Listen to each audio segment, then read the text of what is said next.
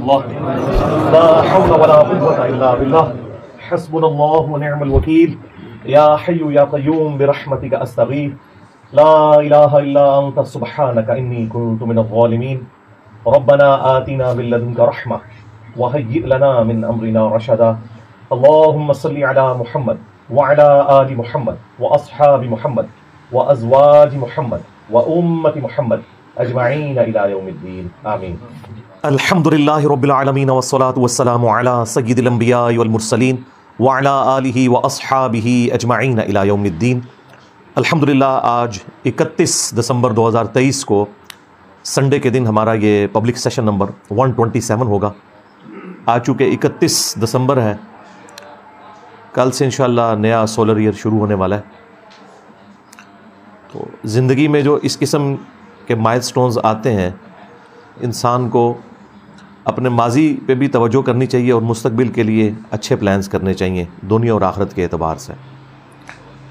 तो अल्लाह ताला से हम दुआ करेंगे कि आज तक हमसे कोई गलतियाँ, कोताहियाँ हुई, उनसे दरगुजर फरमाए और जो लोग फौत हो चुके उनकी मफरत फरमाए और जो आने वाला साल है, वो पूरी दुनिया के मुसलमानों के लिए बिलखसूस और पूरी इंसानियत के लिए बिलूम खुशहाली और अमन का साल बनाए 2024 को इन ताला।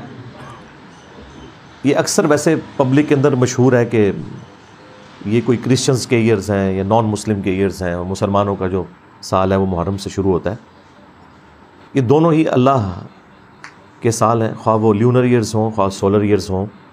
दोनों को पैगम्बरों के साथ ही नस्बत है। एडी की जो टर्म बोली जाती है एनो डोमिनी इसकी एब्रुएशन है ये। और ये लेटिन ज़ुबान का वर्ड है, जिसका मतलब है ईयर ऑफ़ द लॉर्ड आका की पैदाइश का साल।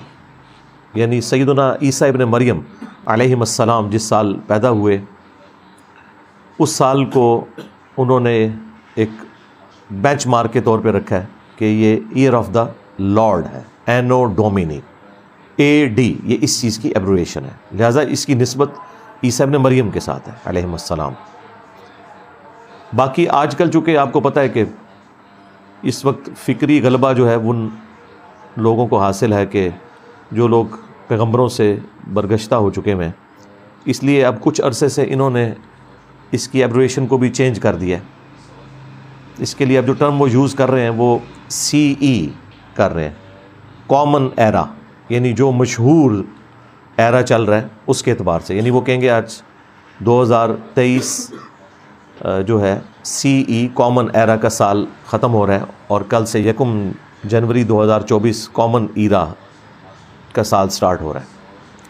वैसे लफ्ज़ कॉमन एरा बोला जाता है। ईरा भी बोल लेते हैं, उर्दू में चल जाता है। और जो कबल अज मसीह है, उसके लिए टर्म यूज़ होती थी पहले B C before Christ. A D से लोग समझते थे आफ्टर डेथ ऑफ़ क्राइस्ट इसकी वजह से बाद मुसलमान इसे यूज़ नहीं करते थे। ये आफ्टर डेथ ऑफ़ क्राइस्ट नहीं है, ये एनो डोमिनी है।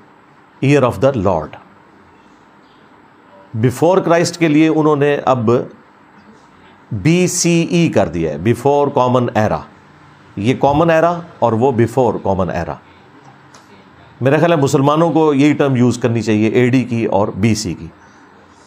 तमाम जो पैगंबर हैं, उनकी नस्बत ज़ाहिर है, अल्लाह के साथ है। और हमें तो ये अकीदा सिखाया गया है, ला नुफ़र्रबैन अहदिम में रसूली। हम रसूलों में ईमान लाने में बिल्कुल कोई फ़र्क नहीं करते।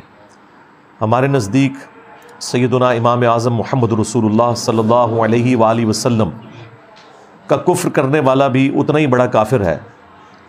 जितना बड़ा काफिर वो शख्स है जो ईसा इबन मरियम का इनकार कर दे अलैहिस्सलाम तो ये मैंने छोटी सी एक क्लैरिफिकेशन इस हवाले से दे दी। बाकी जो ये हैप्पी न्यू ईयर मनाया जाता है या उस रात को बेहयाई के काम होते हैं, उनके साथ कोई इस्लाम का लेना देना नहीं है। वैसे कोई सेलिब्रेशन के तौर पे एक्टिविटी कर ले जिसमें कोई बेहयाई वाला मामला ना हो तो ये कोई दीनी एक्टिविटी के तौर पे नहीं है।